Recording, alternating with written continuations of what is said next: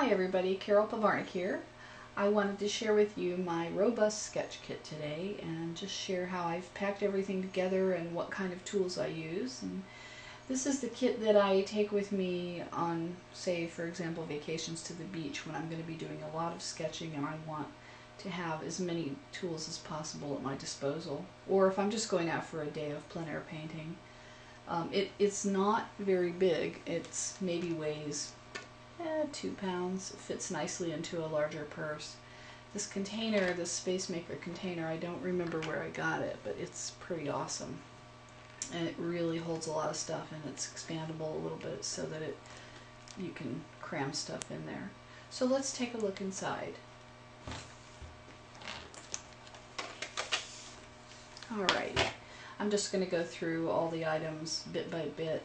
The first thing I want to observe is that I really love to keep stuff in plastic bags. I'm a plastic bag fanatic. It just really helps keep things organized and then when you when you take everything out when you're sitting there sketching it doesn't fall on the ground and it's just easier to handle. So uh, in this first little bag I have a flat brush which I've protected with a piece of cardboard. Whoops a flat brush and a rigger. Uh, those are travel size brushes from Cheap Joe's. They're pretty nice. I, I like them. So those go there. I have a pipette for, um, it helps to, when you want to pull water out of a water bottle and put it into like a little spray mister, which I'll show you in a moment. A pair of scissors. And then I really love carrying with me a little plastic bags, some glassine envelopes, and a couple of coin envelopes, just in case I find some things that I want to collect and take with me and I want to keep them confined in their own little envelope. Then I have a little set of color pencils that I got at Michael's craft store for a dollar and they're actually surprisingly rich colored for such cheap little pencils, but I loved the size of them.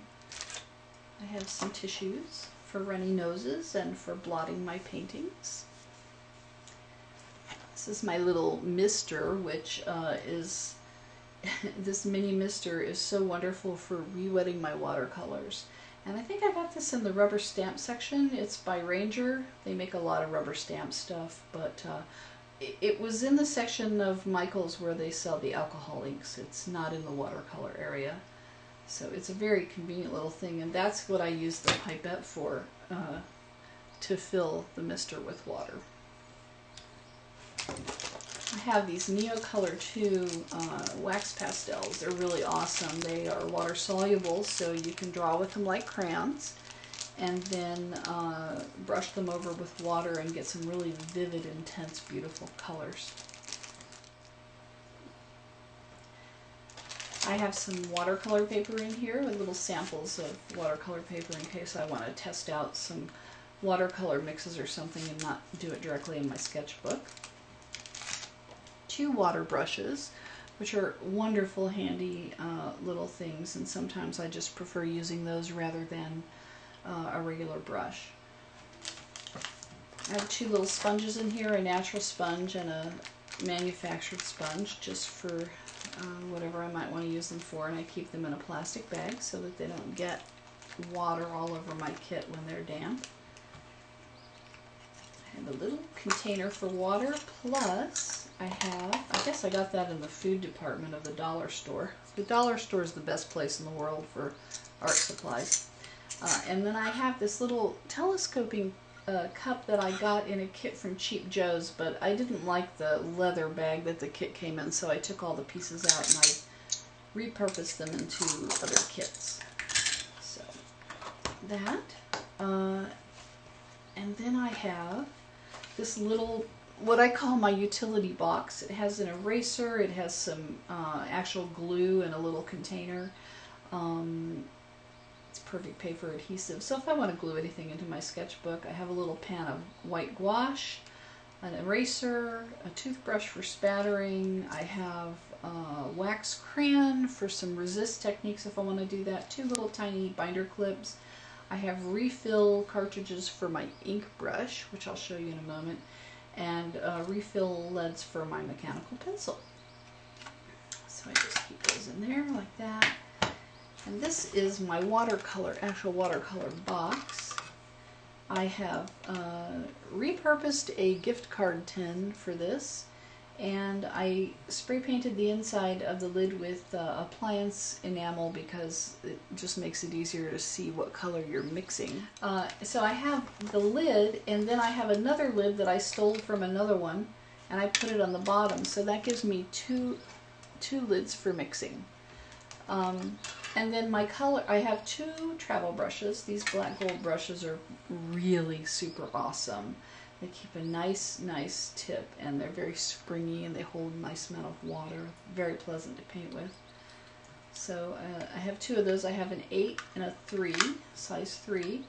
And then I have all my colors that I like to use uh, in these um, you know, little pans that you buy empty and fill with your tube watercolors. They're stuck to the bottom of this tin with that blue putty stuff that you use for hanging photographs. Um, and that way I can swap tins out when I want to make adjustments to my palette or customize it for some reason. So it really works out nice. Really, really like it. As far as the color goes, uh, these are just, I have, you know, some warm primaries, some cool primaries, and some convenience colors. Um, you know, this is your palette is going to be what you like. I tend to use a lot of Daniel Smith colors. I have some M. Graham colors on here. Uh, I guess I should, I could go over them. Maybe I'll save that for another video or this will just get too lengthy because color is such an individual choice. But uh, this is a really nice selection of colors. I pretty much can mix anything I want using this. So I'm real happy with it. So that's the bottom section of the tin or the kit. So now let's take a look at what's in the top section. Again, in the plastic bag here I have uh, paper towels and a, a, value scale, which comes in handy sometimes. I have an actual color chart for my colors, and I will put that up closer. You might actually be able to read the colors themselves. I don't know, I can't tell if it's focusing what else is in here? We have, I have a little roll of double-sided adhesive tape. Again, if I want to stick something in my sketchbook, that comes in handy. And then we have this little tin full of my actual sketching instruments. And I'll just go over a few things. I have these Copic uh, markers. These are wonderful. Because I have three sizes. The best thing about them is they're refillable and you can replace the tips. So you never have to keep buying pens. You just can refill and, and retip as needed. This is a mechanical pencil, which I really like because it's little. It's a zebra. This is my little tiny pink fountain pen, which is awesome, made by Ohto HTO. The Japanese stuff is also beautifully engineered and, and so little, which is why I I like it, and I buy a lot of my stuff from jetpens.com. Highly recommended. Um, but this is a fountain pen. The only bad thing about fountain pens is it's hard to find one that has waterproof ink, so I'm constantly having to remember to paint first and write later. uh, this is a water-soluble graphite uh, pencil, which makes for some nice shading effects with watercolor. This is a really awesome little thing. It's a Tombow uh, eraser and um, as you can see it's really little so it's very very useful for getting into those little small spaces. I also have some refills for that eraser right here and this is my refillable cartridge based uh, ink brush which is really nice. It makes a beautiful beautiful line and it's waterproof. Uh, this is just another woodless graphite pencil for sketching. And this is a sharp stick for stabbing people who bother me. Whoops, I mean for making marks in my sketches. and I think that's it for that little box. The little tin can was con a candy container. And then the last two things in here. First of all, a little ruler.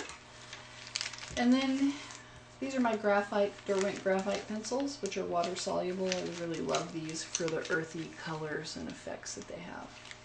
So that's that's pretty much it. These are some of my favorite sketching tools, and I'm going to just show you how quickly this all can go right back together again. So those in there.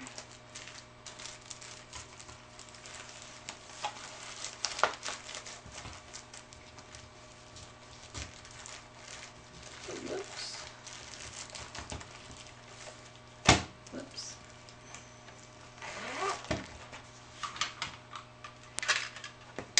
Just keep that in there. It's really where it belongs.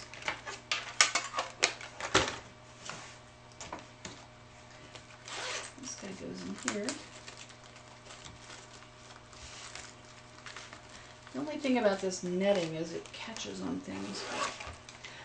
That's only because I'm in the video trying to do things in a hurry. There. One thing, the key to these little kits is once you figure out how to pack them, always pack them that way and just be consistent and then you never have trouble getting things back in where they go. This goes here. These guys go back in their envelope.